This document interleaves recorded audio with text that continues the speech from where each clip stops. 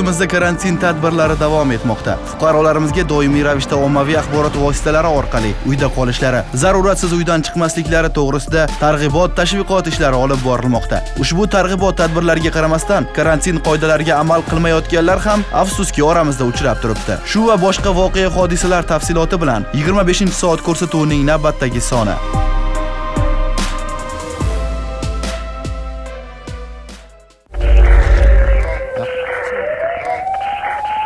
Dasturimizni xushxabar bilan boshlamoqchimiz. O'zbekistondagi eng ommabop milliy televizion manba va formatlarni aniqlash bo'yicha o'tkazilgan so'rov natijalari e'lon qilindi. Yuksalish umummilliy harakati tomonidan joriy yilning 5-15 mart kunlari O'zbekistondagi eng ommabop milliy televizion manba va formatlarini aniqlash maqsadida fuqarolar o'rtasida jamoatchilik fikri so'rovi o'tkazildi.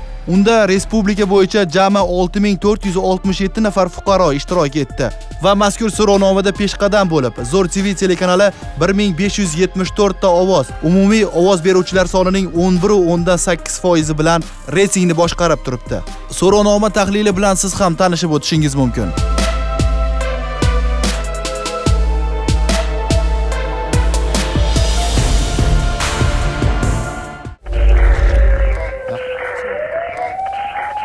Bugun dasturimizda Buxoroda o'tkazilgan tungi reyd tadbirlarida karantin talablariga rioya qilmasdan maqsadsiz yurgan fuqarolarga chora ko'rish uchun ichki ishlar bo'limiga keltirildi. Javob berilmasmi shu sizga hech nima qilmasligiga? Jinoyat ishlari bo'yicha Arnasoy tuman sudida probatsiya hisobida turadiganlardan birini qamoqqa olish bo'yicha hukm o'qildi. Tungi vaqtlarda xizmat ko'rsatuvchilarga xavfsizlik talablari tushuntirib borilmoqda. Eshiklaringizni yopib, fortichkadan foydalaning. Noqonuniy narsa bu yo'qmi? Xaloskorga ishongan huquqbuzar ichki ishlar bo'limiga keltirildi. O'rtoq fuqaro men sizga gapiryapman. Xatga qaraysiz, olib Ha, rudiga. Shuningdek, tafsilotlarni Telegramdagi rasmiy Zo'r TV 25 soat kanalida ham kuzatib borishingiz mumkin. Telegram kanalimizning haqiqiy ekanligini bilish uchun uning bosh sahifasidagi ma'lumotlar bazasiga kirasiz. Quyi qismida esa Zo'r TV 102 administrator nomi yozilgan bo'lishi kerak.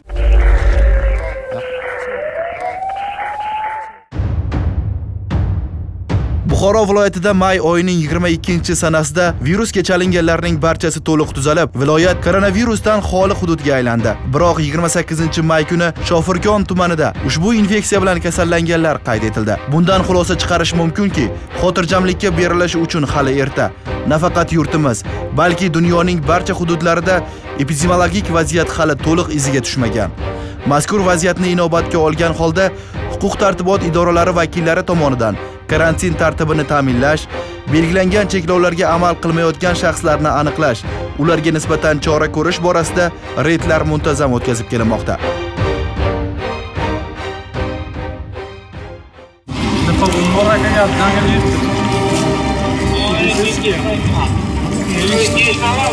Aptekadan olsangiz bo'ladi, bularni. Aptekadan olsangiz bo'ladi. Qani yerda?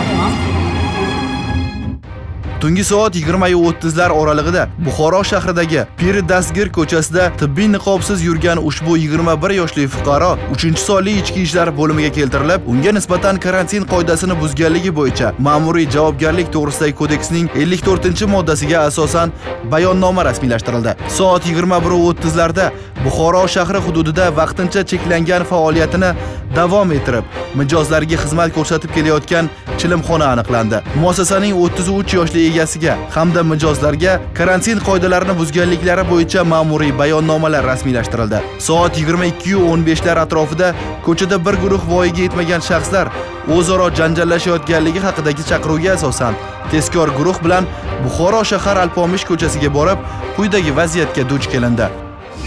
Olmayman.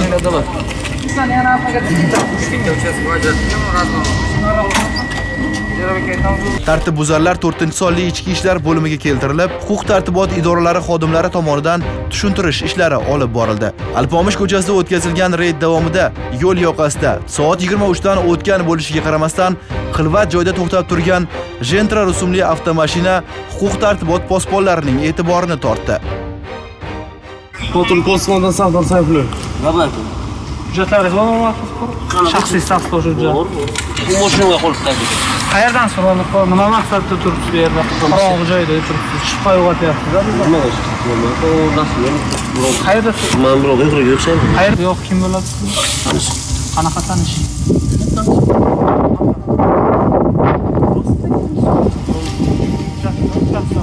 Hujjatni shunday. O'rtoq fuqaro tibbiy niqobingizni taqib oling. Mashinada 32 yoshli erkak va 20 yoshli qiz karantin qoidalariga zid ravishda o'tirgani, haydovchining avtomashinani boshqarish huquqini beruvchi hujjatlari yo'qligi ma'lum bo'ldi. Qoidabuzarlar ichki ishlar bo'limiga keltirilib, shaxsiga aniqlik kiritildi va huquqbuzarligi uchun ma'muriy bayonnomalar rasmiylashtirildi. Reyd davom ettirilib, tun yarmiga yaqinlashganida ko'chada duch kelingan va bemaqsad yurgan yigit hamda qizning shaxsini tasdiqlovchi hujjatlar so'raldi. Ular taqdim etishdan bosh tortishdi. Joriy yilning 27 may kuni patrullik xizmat davomida dinamo kasosini oldida ikki nafar fuqaro karantin qoidalarini buzib yurganligi aniqlandi. Ularni shaxsiga aniqlik kirish maqsadida ular to'xtatilib ulardan hujjatlari so'ralgan vaqtda shaxsni tasdiqlovchi hujjatlarni taqdim qilmadi o'z haqidagi ma'lumotlarni bizdan yashirdi. Uchinchi sonli shahar ichki ishlar bo'limiga olib keldik. Hozirda ularni shaxsiga aniqlik kirish maqsadida mas'ul xodimlar tomonidan o'rganishlar olib borilmoqda. Hozirgi vaqtda O'zbekiston Respublikasida karantin holatida so'nggi soat 23:40larda Maqlubga birgalikda ko'chada bir-birlariga hech qanday aloqasi bo'lmagan bo'lib Qachon amet tanishdan maqsadda yurtga ko'chaga. Magazinga chiqdingiz? Tun yarmidan og'ganidan so'ng ham reyd tadbirlari to'xtatilmadi. piridastgir ko'chasida ko'p qavatli uylar atrofida to'rt nafar fuqaro suhbatlashib o'tirgani ustidan chiqildi. So'nggi soat 00:15 ga tashqariga sayrga chiqdim. Tibbiy niqobsiz. Ichki ishlar xodimlari shahrimizga O'zbekistonga karantin qoidalari oli davom etayotganligi, karantin bo'layotganini menga tushuntirishdi. Bu ol qaytib takrorlanadi. Oradan ko'p vaqt o'tmasdan Turdi Farobiy ko'chasidagi qurilishi tugallanmagan binolar oldida o'tirgan ikki nafar shubhali fuqarolarni shaxsiga aniqlik kiritish maqsadida ichki ishlar bo'limiga olib kelishga to'g'ri kelindi. Mumkin emas ko'cha jamoat joylarida tibbiy niqob harakatlanish. Yo'q, niqob bunda. Mumkin emas. Bilaman, niqob. tibbiy niqob o'rtoq fuqaro. Ana bunda berdim. Shaxsiz tasdiqlovchi hujjati bormi? Ana. Nima uchun tibbiy niqobdan foydalanmayapsiz? Hozir sug'urdim men hozir. Karantin hali turgani yo'q. Javob ko'rsat kodeksni 54 moddasiga asosan tibbiy niqobdan foydalanmak kerak. Hozir niqob mana bunda berdim. Ishonmasangiz ishora. Surishtiruv davomida 38 yoshli fuqaro himoya niqobisiz yurgani va 21 yoshli shaxs spirtli ichimlik iste'mol qilgani aniqlandi. Ayrim fuqarolar epidemiologik vaziyatni tushunmayotgani, o'zlari hamda uyda o'tirgan oila a'zolarining hayotini katta xavf ostiga qo'yishayotgani achinarli. Soat 2 dan 40 daqiqa o'tganida Alpomish ko'chasida Olimpiya sport do'koni oldida to'xtab turgan shubhali Cobalt avtomashinasi soha xodimlari e'tiborini tortdi. Buni payqab qolgan haydovchi qochishga urindi. To'xtatilib, surishtirilganida avtomashinada yo'lovchi qiz borligi ma'lum bo'ldi. Hurmatli ota-onalar, qizingiz, o'g'lingiz tungi vaqtlarda qayerda yuribdi? Bunga biroz bo'lsa-da qiziqish bildiring. Patrul postdan dastlab tursaydlar. Hujjatlar taqdim O'rtoq fuqaro, hujjatlarni taqdim qiling. Nima? Tinchlik. Hujjatlarni taqdim qiling. Singlim, avtomashinadan tushing. Nima kerak bo'lmasa? Karantin vaqti magazindan kelaman aka. Ko'chada Yo'q, ish qilganim yo'q. soatga qarang. Tushunman aka. Choydan beri karantin. Kim bu kishi nimaga o'tiribsiz begona? Nimaga yurib? Magazinga tushdi. Fuqarolar xavfsizligi uchun sizni Men xavfsizlik uchun videoga Javob bera olasizmi shu sizga hech nima qilmasligiga? Sizlar nima? Singlim. Singlim. Nima aytsam kommersiya aytamiz, otdan Bunaqa holatga tushmaslik uchun singlim yurmaydi kechqurun. magazin chiqqan. Magazin Yarim aka kunduz kuni nima ish qildingiz? Magazinda ishlaganman. Qo'rqasiz? Mustaqillik ko'chasi 55-uyda 10 nafar fuqaro karantin qoidalariga zid ravishda spirtli ichimlik iste'mol qilib, qimor o'ynayotganliklari aniqlandi. Shu zahotiyoq ularning barchasi narkologik tekshiruvdan o'tkazilib, ichki ishlar bo'limiga olib kelindi hamda ma'muriy bayonnoma rasmiylashtirildi. Biz tungi xizmat olib borayotgan vaqtimizda e, hududiy profilaktika inspektori bizni yordamga chaqirib, e, bir guruh fuqarolar e, uyda karantin qoidalarini buzayotgan holati aniqlangani sababli bizni yordamga chaqirishdi. Haqiqatdan ham shu manzilga borganimizda 12 nafar fuqaro karantin qoidalarini buzib, spirtli ichimlik iste'mol qilib, qimor o'ynayotgani aniqlandi va shunda biz ularni 3-sonli ichki ishlar bo'limiga olib kelib, qonuniy rasmiylashtirdik. Xulosa qilib shuni aytishimiz mumkinki, tungi reydning qo'shtirnoq ichidagi qahramonlari o'z qilmishlaridan pushaymon bo'lishdi. Ammo ushbu vaziyatda pushaymonlik nafaqat o'zlariga, balki atrofdagi tanib tanimagan insonlarning hayotiga ham jiddiy zarar keltirishi mumkin. Vaziyatni to'g'ri baholash lozim. Unutmaylik, karantin cheklovlari faqatgina sizu bizning sog'ligimiz himoyasi uchun joriy etilgan. Bunga loqayd qarash, bilganidan qolmaslik, o'z o'ziga xiyonat qilishdek gap. Vaziyatga nafaqat mas'ul tashkilotlar xodimlari, balki har birimiz javobgarmiz. Oshna og'aynilar bilan choyxonada mazali taom ustida samimiy gurunglashishni, hech bir xavf xatarsiz oila a'zolaringiz bilan istirohat bog'ida sayr qilishni va asosiysi barchasi siz sog'ingandek bo'lishini istasangiz joriy qilingan karantin qoidalariga virus xavfi bartaraf bo'lguniga qadar amal qiling.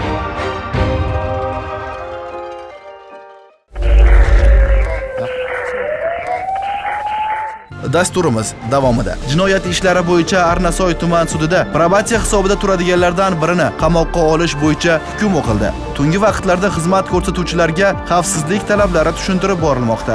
Eshiklaringizni yopib, fortichkadan foydalaning. Noqonuniy narsa bu yo'qmi? Xaloskorga ishongan huquqbuzar ichki ishlar bo'limiga keltirildi. O'rtoq fuqaro, men sizga gapiryapman. Xatga qaraysiz, olib Ha, rudiga. Shuningdek, tafsilotlarni Telegramdagi rasmiy Zo'r TV 25 soat kanalida ham kuzatib borishingiz mumkin. Telegram kanalimizning haqiqiy ekanligini bilish uchun uning bosh sahifasidagi ma'lumotlar bazasiga kirasiz. Quyi qismida esa Zo'r TV 102 administrator nomi yozilgan bo'lishi kerak.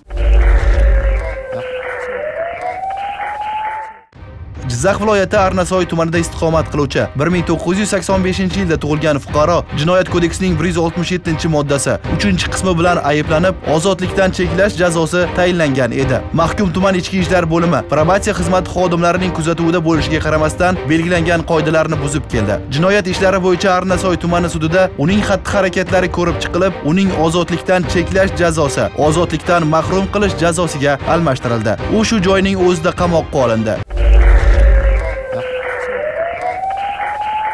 Aybi uchun chin ko'ngildan pushaymon bo'lib, probatsiya tartib qoidalariga amal qilib kelgan ikki nafar mahkumlar axloq tuzatish jazosidan muddatidan oldin shartli ravishda ozod etildi. Mahkuma Sultonova O'zbekiston Respublikasi Jinoyat kodeksi 73-moddasi 3-qismining A bandiga asosan o'talmay qolgan 7 oy 24 kun ozodlikdan cheklash jazosini o'tashdan muddatdan ilgari shart ravishda ozod qilinsin. Sudda Safarobod tumani ichki ishlar bo'limi probatsiya xodimlari tomonidan 6 nafar mahkumlarni muddatidan oldin ozod qilish bo'yicha taqdimnomalar ko'rib chiqilib, ularning barchasi qanoatlantirildi. Shundan so'ng probatsiya hisobida turganlarga tartib qoidalariga amal qilish orqali jamiyatda o'z o'rnini topishiga erishish muhimligi uqtirildi.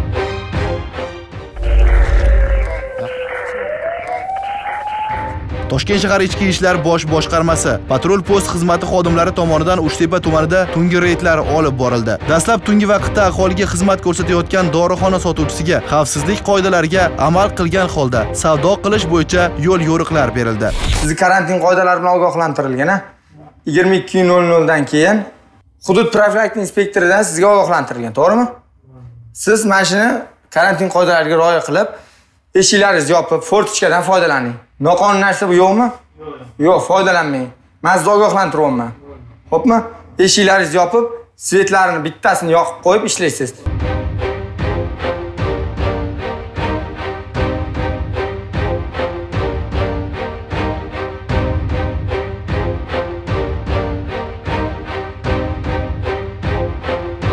Tunda g'alamislar inidan qo'zg'alib, o'zining jirkanch maqsadini amalga oshirish uchun ko'chada izg'ib yurishib bor gap. Ushbu shubhali shaxsning yonidan psixotrop vositalar topilgani uchun Ichki ishlar idorasi xodimlari tomonidan navbatchilik qismiga keltirildi.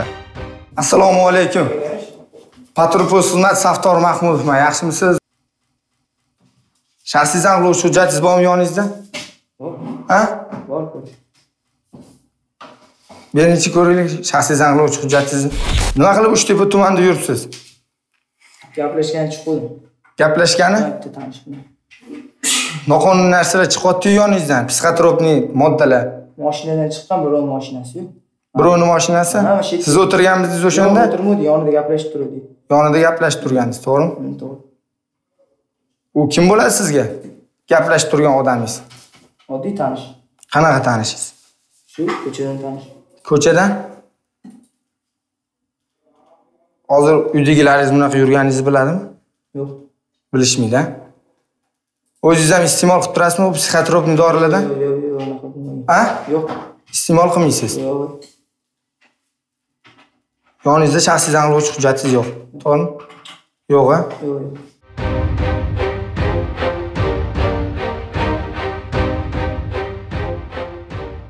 Psixotrop dori vositalarini qachondan beri iste'mol qilasiz? Kim o'rgatgan? 5 yildan beri o'rtog'im o'rgatgan. Qanaqa bo'lgan? Shu borib olib yurdi, olib yurdi. Keyin ichib ko'rdim, shu bilan o'rganib qoldim. Umuman mana shunaqa psixotrop vositalarga kirib ketayotgan yoshlarni quliga aylanadi. Unisi ham bilmadim, man asabbuzarlik deychaman. Har kun emas, har doim emas. Ota-onangiz uydagilar bilishadimi? Yo'q, Bilishmaydi. yo'q. Buni muntazam ravishda ichib borasizmi?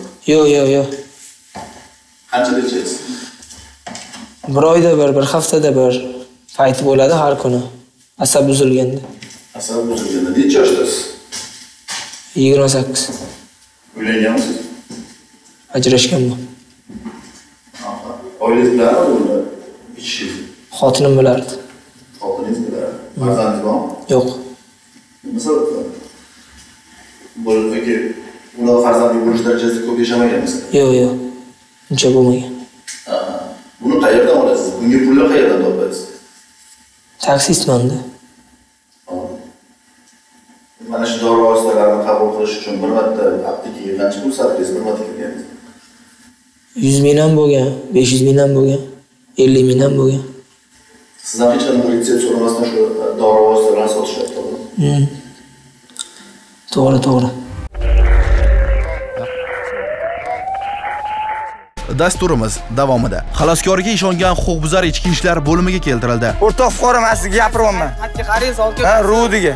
Shuningdek, tafsilotlarni Telegramdagi rasmiy Zo'r TV 25 soat kanalida ham kuzatib borishingiz mumkin. Telegram kanalimizning haqiqiy ekanligini bilish uchun uning bosh sahifasidagi ma'lumotlar bazasiga kirasiz. Quyi qismida esa Zo'r TV 102 administrator nomi yozilgan bo'lishi kerak.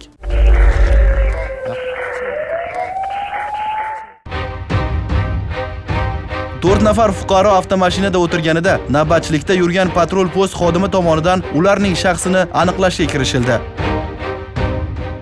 Assalomu alaykum. Patrul post xizmati Saftor Mahmudov, yaxshimisiz? Ular yaxshimi? Rahmat. Yoningizda shaxsiy aniqlovchi hujjatinglar bormi? Yo'q hujjat. Yo'qmi? Qayerda turasizlar? Qayerda turasizlar? Qani dom aka? Shu yerdami? Kimniki mashina? Mashina? Avtolog. Sotdiki mashina. Hujjatlaringizni ko'rsatib yuboring aka. Ya siz kim bo'lasiz aka? To'xta. O'zimni tanishtirdim, o'zimni tanishtirdim. Gaya xodimisiz? Ha? Gaya xodimisiz? Men PPS xodimiman. Ya siz xaridingiz bormi? Men shaxslarni aniqlovchi hujjatlarini tekshirishga haqqim bor. Pasportingiz bormi? Ko'rsat. Bo'ldi. Ne karantin vaqtida 10 dan keyin 4 ta bo'lib bitta mashinada o'tiribsizlar, 4 ta bo'lib. O'tirib bo'lmaydi aka. Karantin qoidalariga bo'ysunmasdan. Kamerani olib qo'ying, aka. Ha? Nima nima biz sotgan ekanmiz? Karantin qoidalari. Sulaymon tex pasportni men ko'rmayman. Turibdi mashina. Ichidan narsa olishga ayting. setkada turibdi ichida. Eylor aka, Yo'q.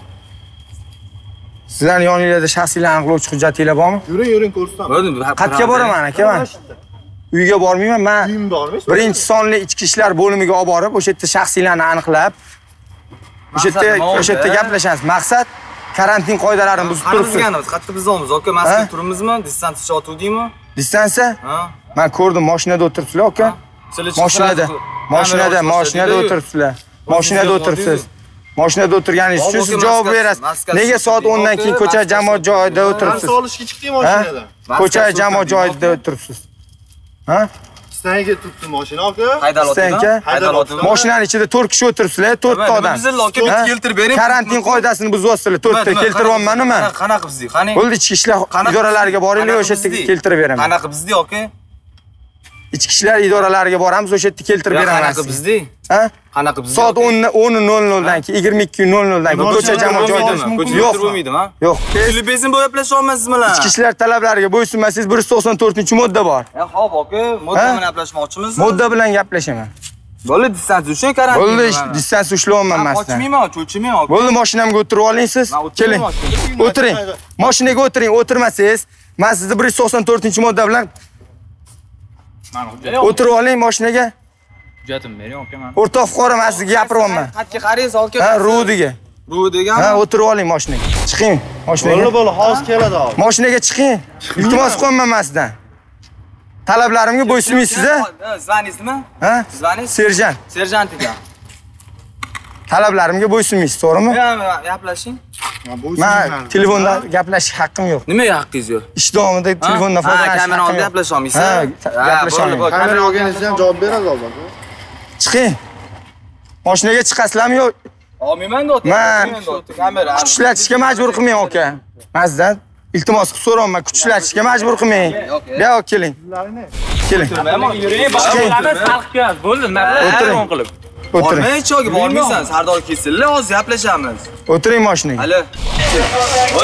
O'tiraman do'm, aka. o'tiring mana o'tiring o'tiring Hop, aka, qo'lingizni oling, o'tiraman. O'tiraman. o'tiring O'tirsam bo'ldimi? Okamlar keldilar men uchun.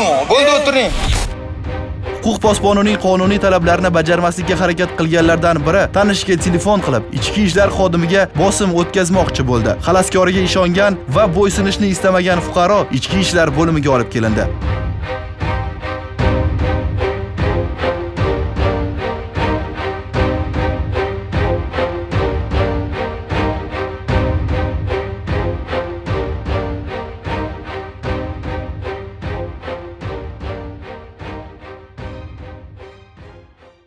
birinchi iyun kuni karantin qoidalariga bo'ysunmasdan ko'cha jamoat joyida yurganingiz to'g'rimi?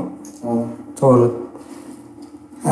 Ichki ishlar xodimlarining talablariga nega bo'ysunmadingiz?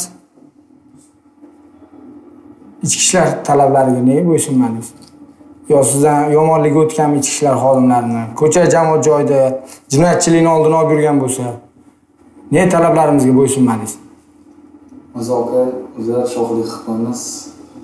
Boshqa aytolmaydi. o'shani o'ylash kerak edida Muzoka. Muzoka.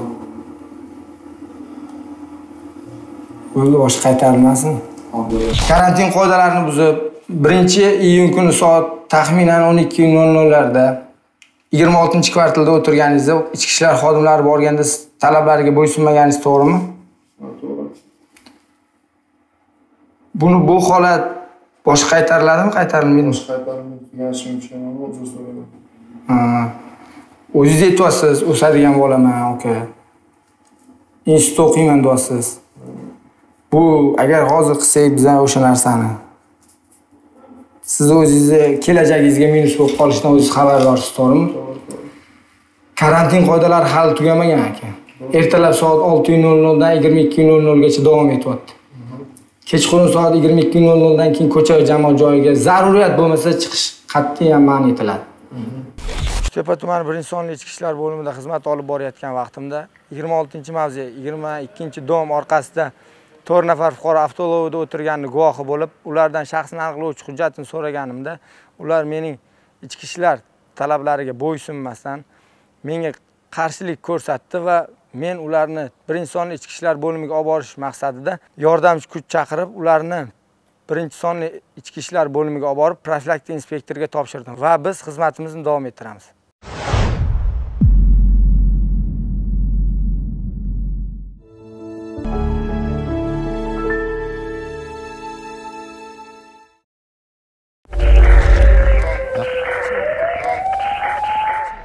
Olib borilayotgan reydlardan ko'zlangan maqsad fuqarolarning xavfsizligini ta'minlash. Yurtimiz tinchligi uchun birgalikda harakat qilsak karantin talablariga rioya etsak bir birimizni asrab avaylasak va farzandlarimizni tunda daydishiga chek qo'ysak ko'zlangan niyatlarimizga erishamiz. Xonadonimizda tinchlik mahallamizda osoyishtalik bo'ladi. Koronavirus xavfidan ham tezroq qutulamiz. Dasturlarimizni kuzatib boring xulosa chiqaring va uning ishtirokchisiga aylanib qolishdan doimo o'zingizni saqlang. Dasturimizni telegramdagi rasmiy kanalimiz zo'r tv 25 soatda ham kuzatib boring.